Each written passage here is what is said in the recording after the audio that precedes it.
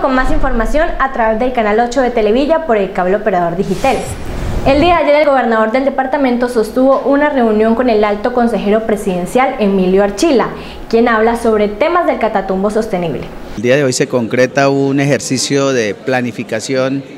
muy importante para la zona del Catatumbo y para los municipios de la provincia de Ocaña. Una reunión donde está el consejero presidencial para la renovación del territorio, el doctor Archila, el viceministro de Agua Potable y Saneamiento Básico, de la misma forma funcionarios del Ministerio de Transporte y del INVIAS y del tema productivo del Ministerio de Agricultura. En ella se logra dejar proyectos estructurados en materia vial que se van a desarrollar en los próximos 10 años y que van a tener eh, presupuesto de diversas entidades como el OCAD de Paz, como la gobernación del departamento, el Ministerio de Transporte y de los municipios. Estos proyectos en materia vial están encaminados a Astilleros Tibú El Tarra, Convención La Mata, con una inversión cercana al billón de pesos. el anillo vial de La Paz, con una inversión cercana a los 250 mil millones de pesos. La vía entre Ocaña y Convención, con una inversión de 30 mil millones de pesos y también la vía Tibula Gavarra con una inversión cercana a los 60 o 70 mil millones de pesos. Esos cuatro ejes viales tienen toda la posibilidad de salir adelante y uno que fue incluido que se llama la Gran Alianza, que va desde Las Mercedes, Luis Veros, eh, Tibú, eh, Pacheli, Orú, que también es fundamental para esta zona. En total articulando esfuerzos, articulando diseños. Hay unas tareas específicas que debe cumplir cada uno de los actores y que están condensadas en una programación general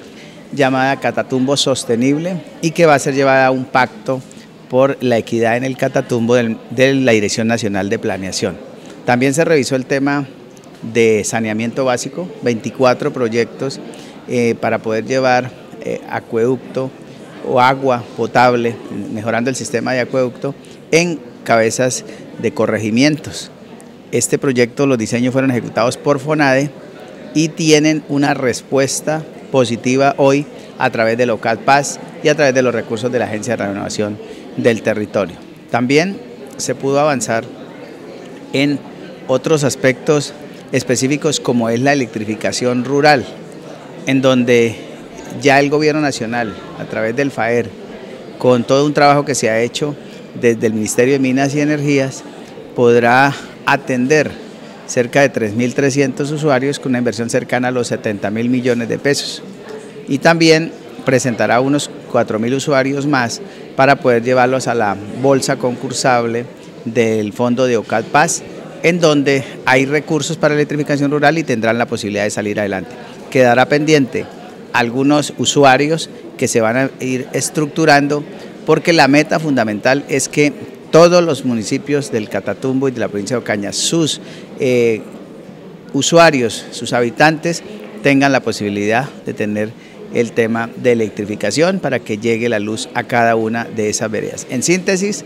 todo un plan encaminado a mejorar la calidad de vida de la gente, encaminado a mejorar la prestación de los servicios públicos de acueducto y alcantarillado, encaminado a mejorar la transitabilidad con la pavimentación de vías, disminuir los costos de transporte, disminuir los fletes y generando una gran